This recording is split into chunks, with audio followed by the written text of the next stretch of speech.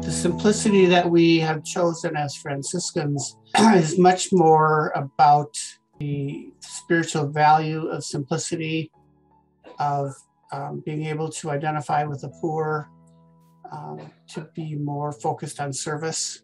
There is that presence within and in this very moment and in this very experience. And that somehow it seems to just inspire me to live as faithfully as I can. I sense that it doesn't matter where I am, I'm walking on holy ground.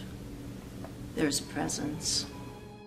I became more aware of the, the simplicity and the presence of other people when I s- stepped back to really listen. The challenge for me is making simple choices and accepting that they're simple. I look at that, at the simplicity as a gift